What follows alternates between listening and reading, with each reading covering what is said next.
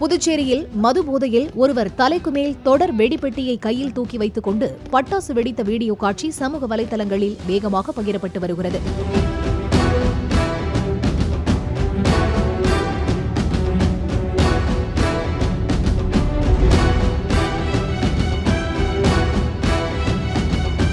அந்த வீடியோவில் பட்டாசு வெடித்து நெருப்பு போரி விழும் காட்சியும் அதை சிறிதும் பொருட்படுத்தாமல் அந்த நபர் சிரித்தபடியே இருக்கும் காட்சியும் உள்ளது. இக்காட்சியை ஒருவர் அருகில் நின்று வீடியோ எடுத்துள்ளார்